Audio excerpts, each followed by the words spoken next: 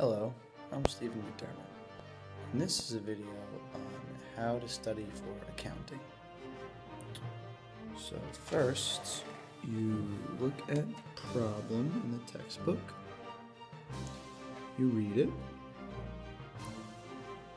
you realize it doesn't make any sense, so you read it again, and try to do the problem on your notebook.